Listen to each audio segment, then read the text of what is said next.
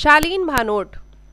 जी हाँ कल शालीन भानोट पहुँचे थे मंदिर, दर्शन के लिए, भगवान के दर्शन के लिए।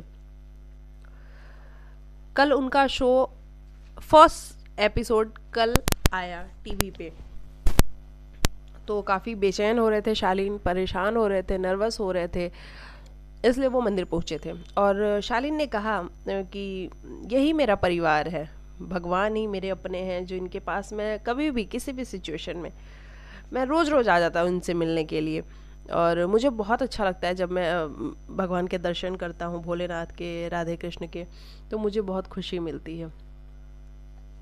देख के अच्छा लगा शालीन भानोट को, लेकिन शालीन कल ऐसे उनके चेहरे से भी लग रहा था ना कि वो थोड़े डिस्टर्ब से हैं।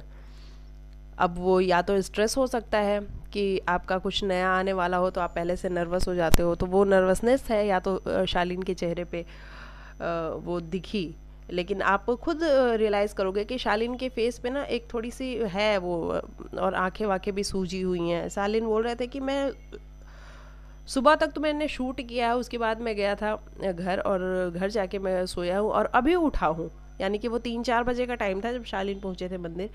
कि अभी उठाऊँ और उठते के साथ ही मैंने सोचा कि पहले मैं मंदिर जाके भगवान के दर्शन करता हूँ और उसके बाद ही आगे के कोई काम करूँगा।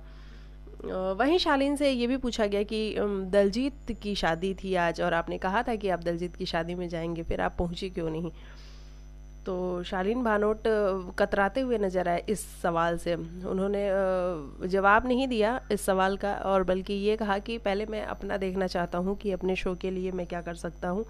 और भगवान के दर्शन करने बहुत ज़रूरी थे तो इसलिए मैं यहाँ पे आया हूँ और अभी अभी मैं सो के सो के उठा हूँ और उठते के साथ ही मैं दर्शन के लिए आया हूँ। तो ये थी शालीन भानोट ने कल जो दर्शन किया, उसकी क्लिप तो मैंने कहा आपके साथ शेयर करना तो बनता है। आप मुझे बताइएगा शालीन भानोट के लिए आपको क्या कहना और आपने कल का एपिसोड देखा या नहीं देखा? ये भी मुझे ज़रूर बताइएगा कमेंट करके। मिलती हूँ नेक्स्ट वीडियो में, तब तक के लिए बाय बाय टेक कर अपना ख्याल रखिएगा।